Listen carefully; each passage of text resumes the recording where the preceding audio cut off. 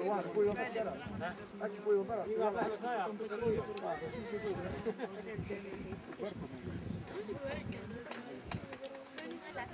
Kako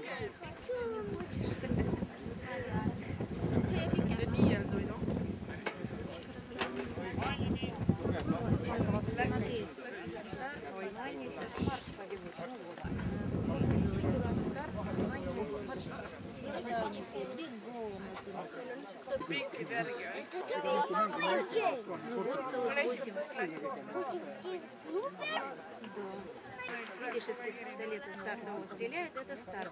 Вот они идут.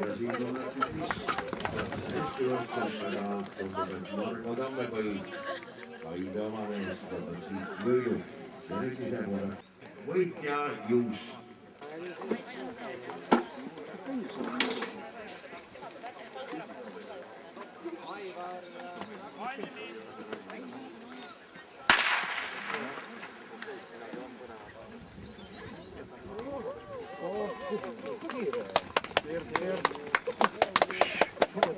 Ja neljandale rajale läheb võit, see on siis Piret Rauskaja, Valga esindaja, tema on veteranide esimese vanuserühma võistleja.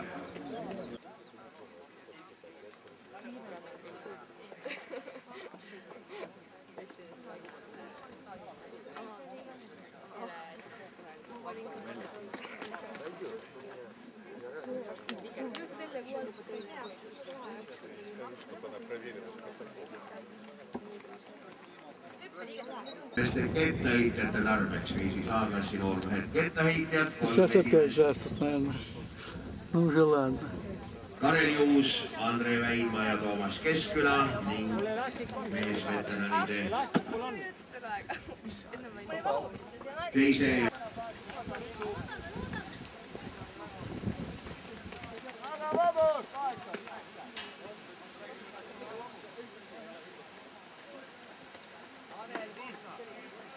Behind enemies.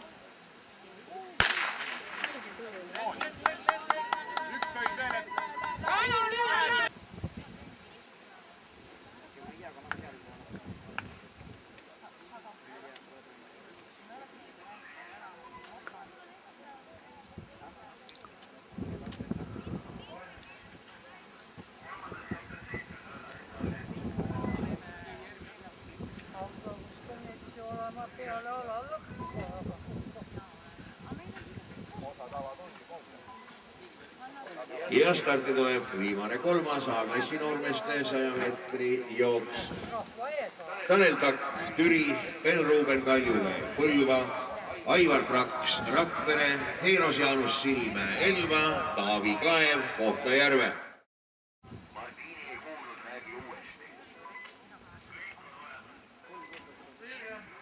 Ja stardis siis ka Toomas Keskküla, Rakvere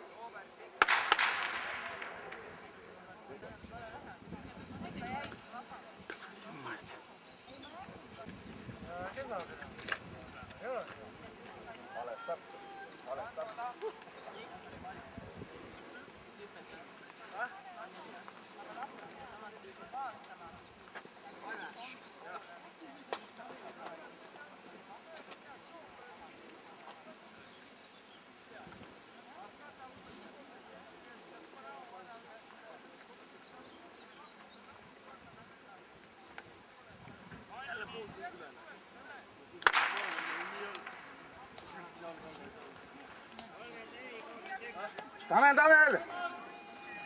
Lähe, lähe, Tanel, Tanel, Tanel!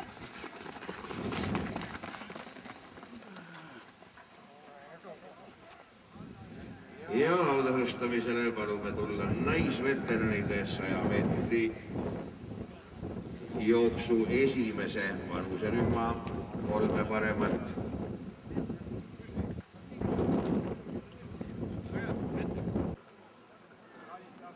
ja kell kuusteist kolmkümmend on siis ülesandmistes oli. seega, kes enne kella poolt viit sekretäriaadist teatejooksude küsimustest läbi ei käi, nende linnade võistkonnad teatejooksus ei osale. kohtadele.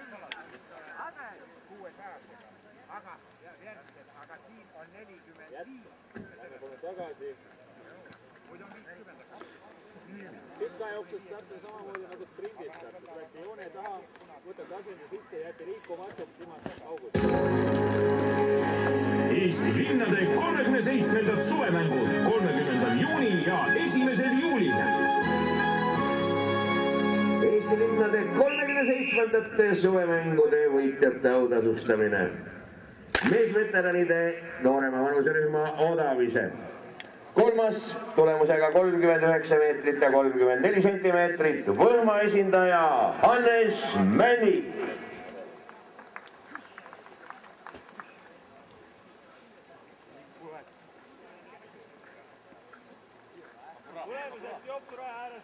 teine tulemusega nelikümmend kaks meetrit ja kümme sentimeetrit, Kohtla-Järve esindaja Andrei Morozov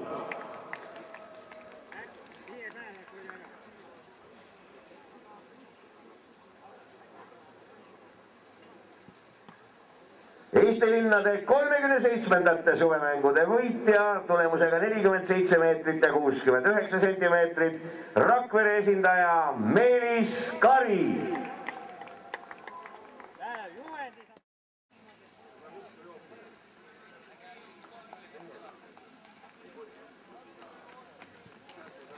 seitsekümmend üks.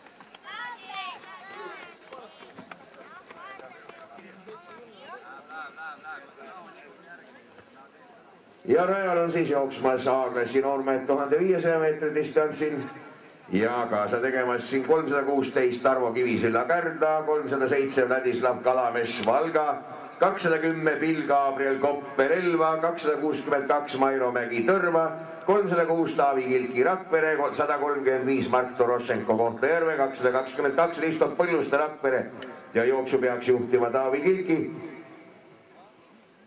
aga millegipärast ei juhi, juhib hoopis Tarvo Kivisilla.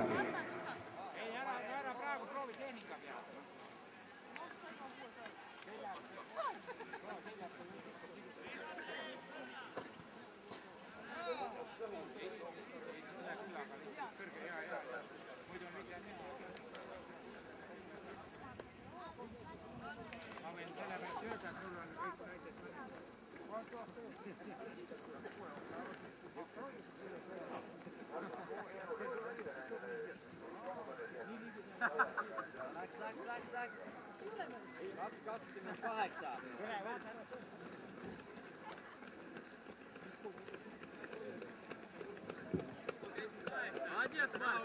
roheline kukub ära, kaks esimest on veel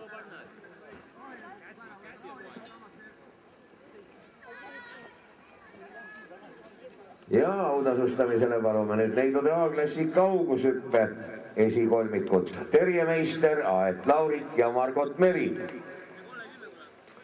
Terje Meister, Aet Laurik, Margot Meri, palun tulge autasustamisele.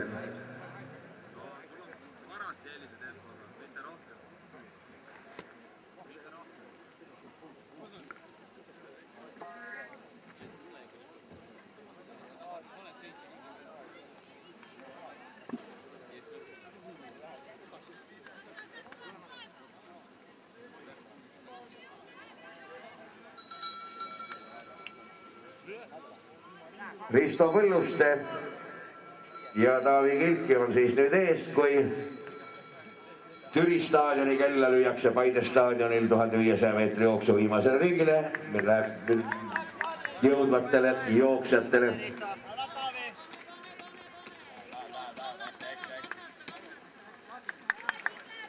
saad, saad, saad. ära midagi üleloomulikku tee, võtad ära ta nagunii. rahulik, taga ei ole kedagi, taga on kõik mehed. ära rahulikult. Ja parandame siis eksliku vea.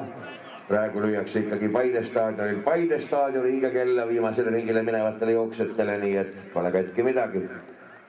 kell on Paide staadionil olemas, lisaks sellele on kaks nulli ja sildid meie ja teie.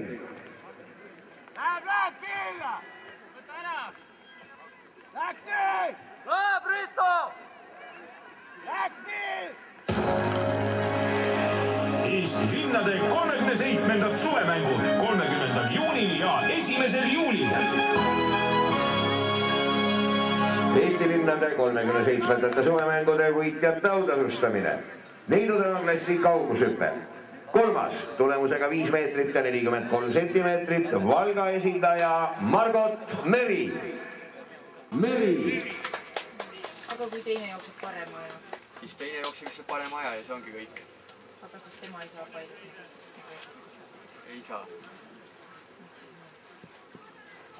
Kahepäeval lihtsalt hea meeskonna kokku panna. muidu mõni, muidu Rakvere peaks kümme meeskonda jooksma. jah. isegi nii palju vitsi ei tule. meil oli nii palju rahvast kohal, siis ma peaks kõik jooksma ja saaks esikümnest oleks pooled kohad.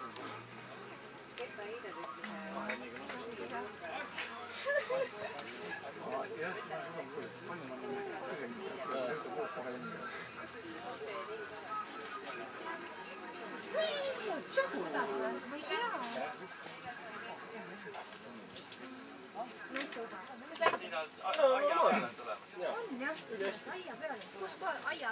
sa ei tea? ma ei tea ju. võib-olla osa ei ole.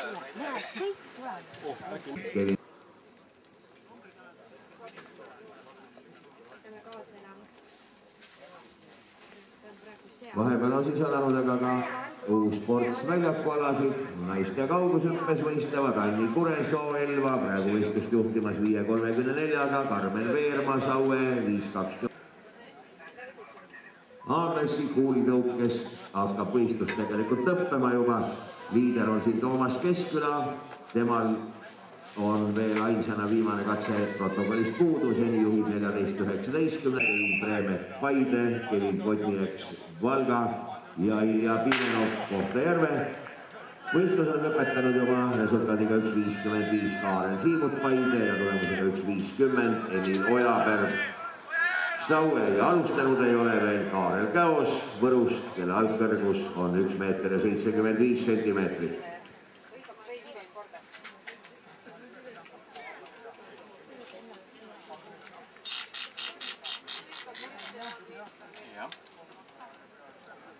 ja veel kord Aadressi noormehed neljasaja meetri jooksjad Kevin Keek, Kevin Kodniaks ja Kristjan Joosep, palun tulge kohe autasustamisele. raja taga on mehed tuhande viiesaja meetri. Tanel Kaseor Kelva, Ilmar Born Elva, Kohtla-Järve, Dmitri Aalisto Kohtla-Järve, Marko Pruus Saue, Olavi Allase Türi, Alari Remmel Elva, vabandust, Kärda, Hannes Veide Elva ja Martin Volt Tõrva. aga Aagressi noormeeste tuhande viiesaja meetri jooksuajad saame teile ette lugeda, võitja Taavi Kilki Rakvere neli kolmkümmend null kolm, teine Risto Põlluste Rakvere neli nelikümmend kakskümmend kuus, kolmas Bill Gabriel Koppel Elva neli nelikümmend üheksakümmend viis, neljas ja neljas koht läks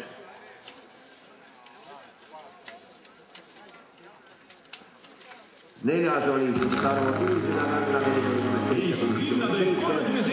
suvemängud viies Vladislav Kalamees Valga neli nelikümmend seitse, kuuskümmend seitse, kuues Mark Torošenko Kohtla-Järve neli viiskümmend, viiskümmend üks ja seitsmes Mairo Mägi Tõrva neli viiskümmend kolm, viiskümmend kolm.